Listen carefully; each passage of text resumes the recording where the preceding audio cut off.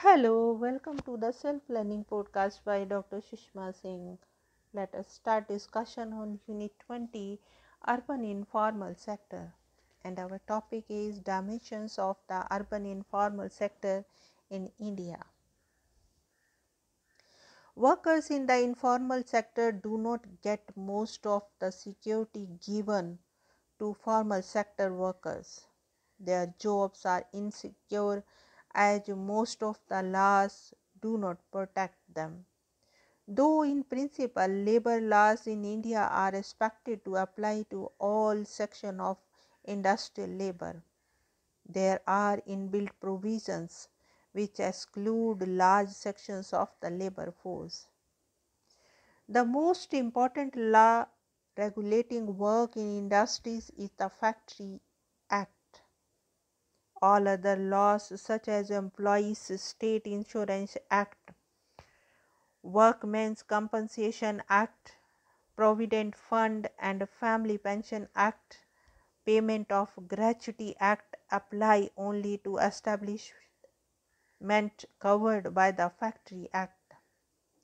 This act is applicable only to manufacturing units which employ a minimum of 10 workers and which use power in manufacturing and a minimum of 20 workers if the unit does not use power.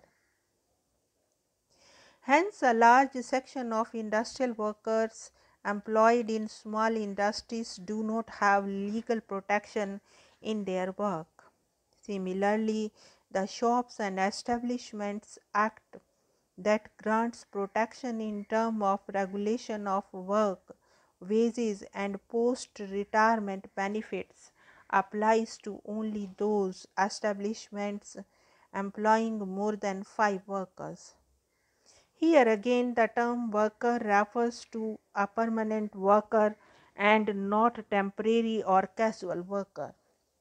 Hence, if a shop or factory employs permanent workers that are below the minimum number and alongside employs three times the number of casual laborers, it will not come under any of the acts. The self employed also form a sizable group. These are workers engaged in home based production, casual day laborers, and street vendors, etc.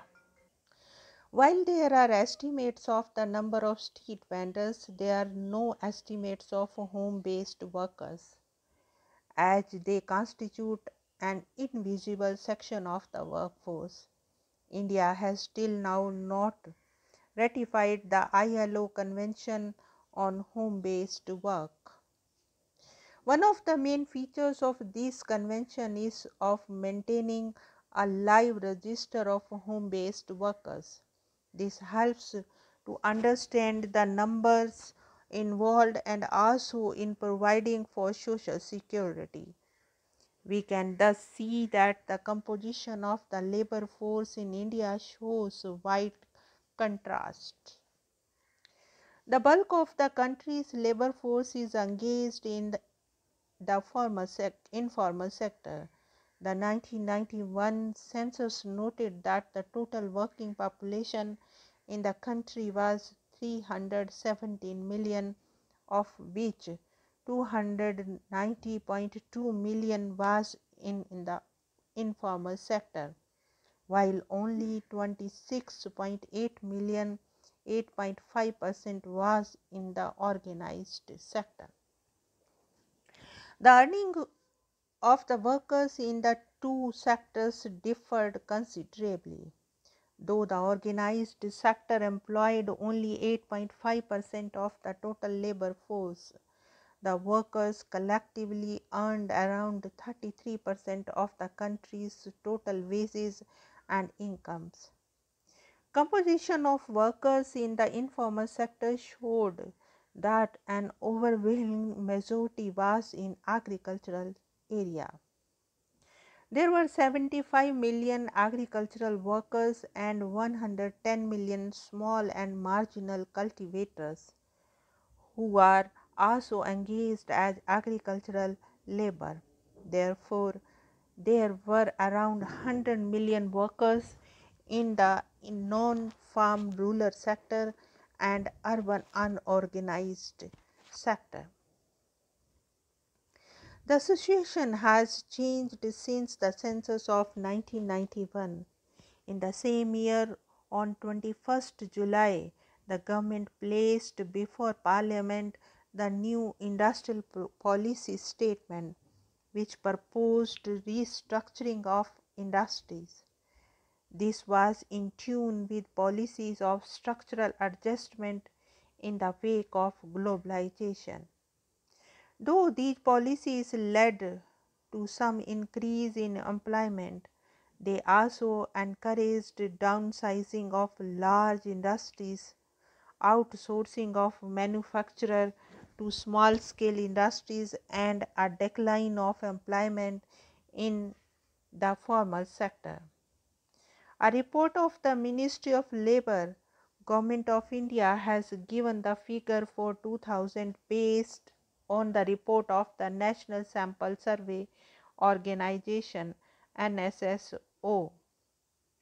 It carried out a sample survey 55th round in 1999-2000 and its results showed that out of total workforce of these 97 million only 28 million workers are employed in the organized sector and remaining in the unorganized sector.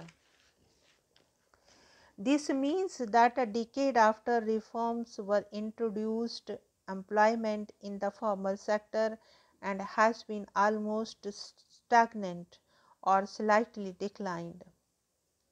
The Economic Survey of 2004 and 5 states that total employment in the formal sector on 31st March 2003 was 27 million.